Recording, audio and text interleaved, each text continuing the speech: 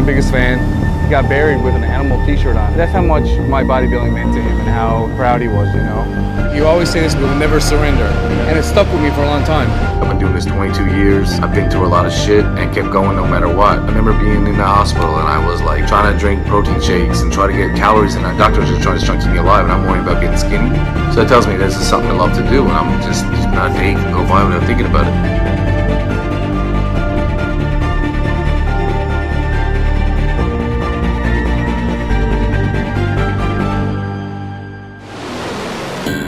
Bad as times got sometimes, I think I never ever gave up. I'd always be like, the next day I'd wake up and say, fuck that shit, you know what I mean? I'm not letting this get to me. I don't care what I gotta do, I'll make it work.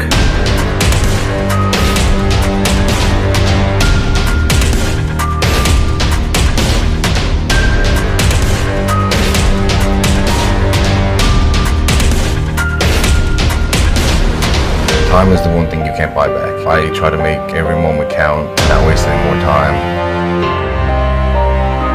As much as it sucks right now, I know it's gonna be worth it when it's over.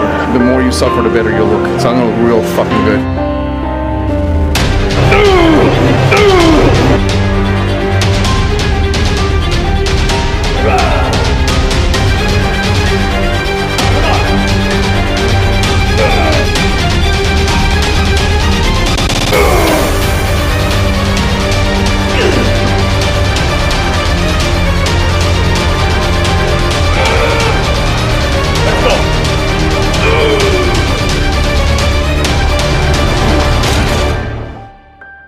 No matter how bad things seem at the time, there's always someone out there who's going through way worse than you. My brain is not done doing this yet, even though the muscles are already fried, and I want to keep going. It's that part of me that likes that pain and it's burning and crazy, and I just keep going until I can't do no more.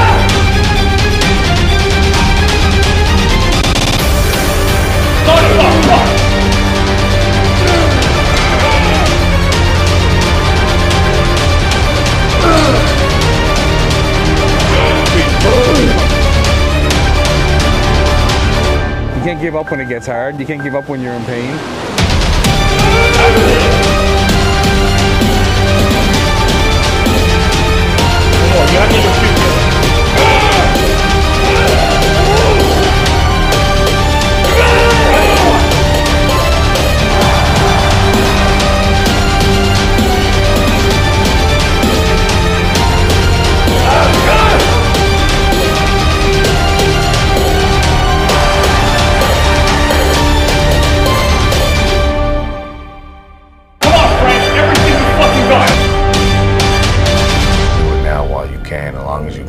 Because you just never know what could happen. Tomorrow could be your last day, so you just need to make every day count.